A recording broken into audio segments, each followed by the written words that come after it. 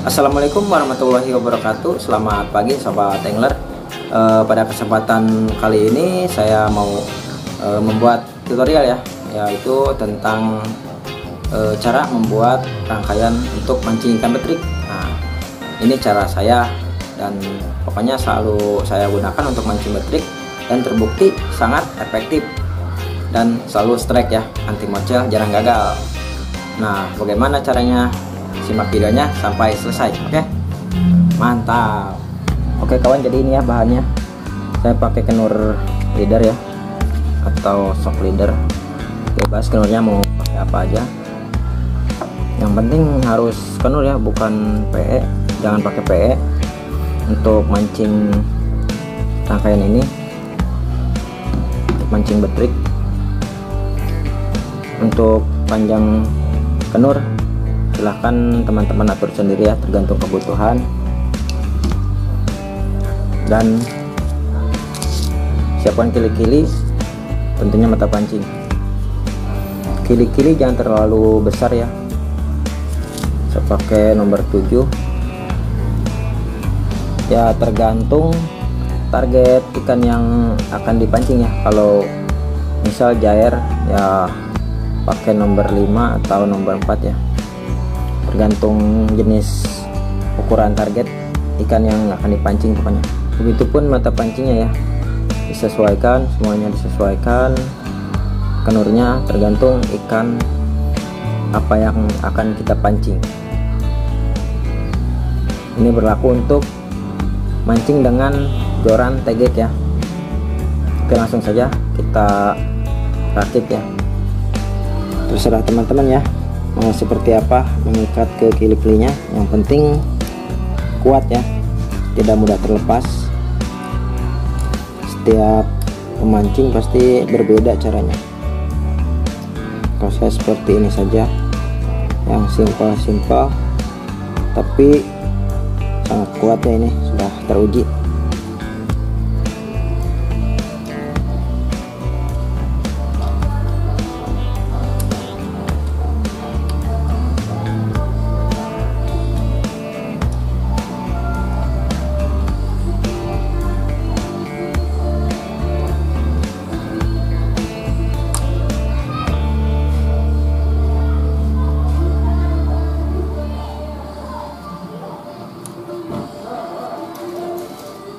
seperti ini kalau saya.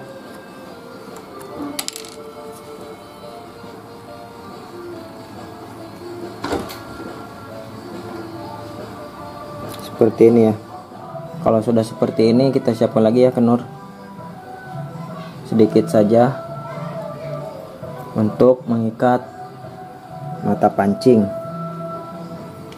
ke kili-kili nanti ya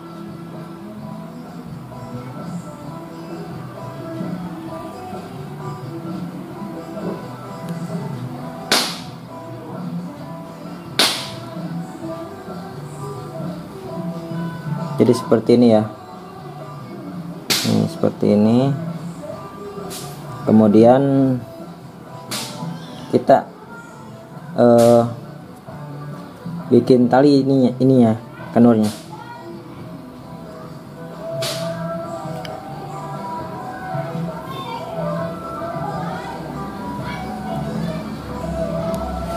diikat kenurnya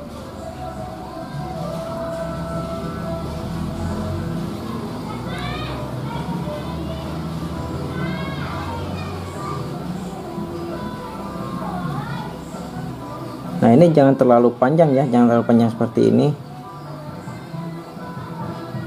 Kita perdekat ke kili-kili. Kira-kira setengah uh, senti ya. Atau satu senti.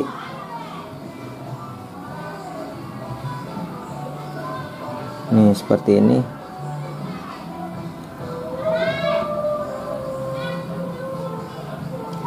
nih misal seperti ini ya. Ini kurang lebih satu senti. Nih seperti ini.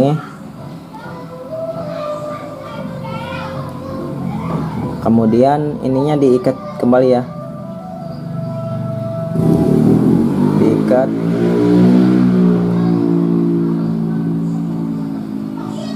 Cukup satu kali saja.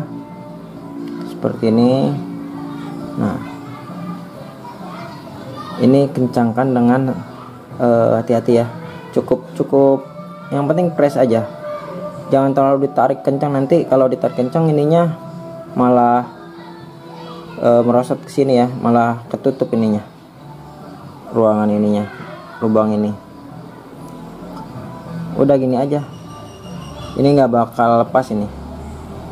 Mungkin teman-teman bisa membakar ininya ya dengan korek gas dibakar dikit ya biar tidak nyerolok ya. Kalau saya tidak dibakar cukup seperti ini saja. Kemudian digunting ya. Nah jadi seperti ini ya kawan. Ini kalau bisa posisi bendolanya jangan di mata pancing tapi di atasnya. Kayak geser doang seperti ini nah jadi seperti ini ya.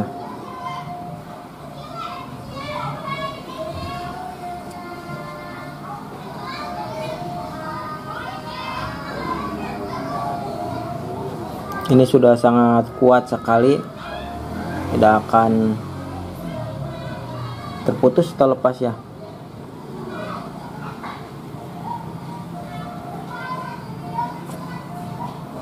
Nih ini dijamin anti mocel ini mah.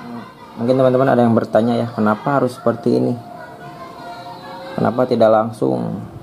Karena saya seperti ini ya. Jadi fungsinya ini ketika ikan menyambar umpan entah dari depan samping atau dari belakang ini bisa menyesuaikan ya gerakannya. Jadi intinya tidak kaku. Ini bisa gerak bebas dia untuk uh, menarik perhatian ikan juga bagus ya. Jadi di air itu dia tidak kaku diam. Tidak diam dengan kaku gitu umpannya. Ada gelombang air dikit dia gerak ya. Jadi mempercepat uh, respon ikan untuk menyambar. Jadi seperti ini. Kalau untuk uh, ikan di air yang tenang bisa kita pakai kukumbul ya. Bisa pakai kumbul ke atasnya untuk di air yang mengalir yang ada arusnya gitu. Kita bisa pakai timah atau pemberat. Jadi seperti ini ya. Untuk ikan betrik sesuaikan dengan ukurannya ukuran mata pancing kili-kili dan kenurnya ya untuk ikan jair ya sesuaikan juga. Ini sudah sangat mampu sekali ya. Saya selalu pakai cara seperti ini.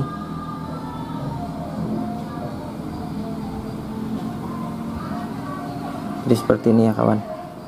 Kawan mungkin sampai di sini ya uh, tutorial kali ini. Dan ini cara saya. Semoga bermanfaat ya. Beda pemancing beda caranya ya. Ini cara saya. Oke sampai jumpa di konten-konten saya selanjutnya ya. Dan jangan lupa like comment dan subscribe. Oke mantap